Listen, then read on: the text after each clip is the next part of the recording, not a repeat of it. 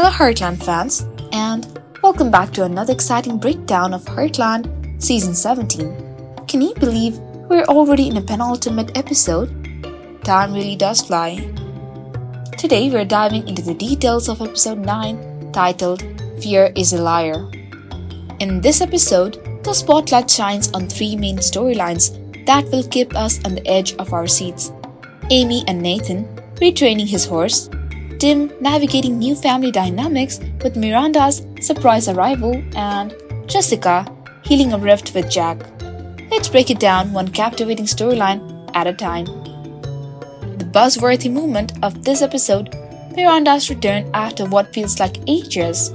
Shane and Khloe's wedding is just around the corner, and Miranda arrives early to lend a hand with preparations. Tim's reaction to her unexpected arrival adds an extra layer of anticipation. How will the interactions unfold? I can't wait to see the chemistry between these characters who haven't shared the screen in years. Now let's shift our focus to Jessica and Jack's rift.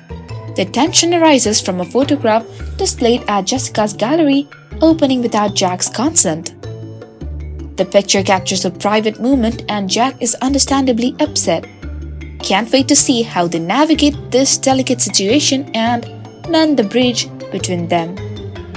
Nathan, who was notably absent in episode 8, makes a return with his white horse, Powder.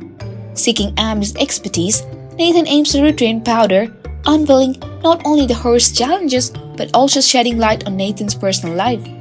Amy's interactions with horse owners often reveal profound insights into their lives and I'm eager to see the connection deepen between Amy and Nathan. As we approach the season finale, the stakes are high. Shane's wedding, and the presence of Nathan, and the secretive nature of CBC regarding episode 10 have fans buzzing with anticipation. Will there be confessions, kisses, or unexpected surprises? Share your predictions in the comments below. Wouldn't it be a delightful surprise if Georgie made an unexpected appearance at Shane's wedding? While it might be wishful thinking, the unpredictability of Heartland always keeps us guessing. What characters would you love to see return? Let me know in the comments below. That wraps our breakdown of Heartland Season 17, Episode 9. If you're as excited as I am about Miranda's return and the upcoming season finale, hit that like button, subscribe for more Heartland updates, and share your thoughts below. What storyline has you most intrigued? Before we part ways, make sure to subscribe for future Heartland breakdowns and hit that notification bell so you never miss an update. Your comments and predictions fuel our discussions, so keep them coming.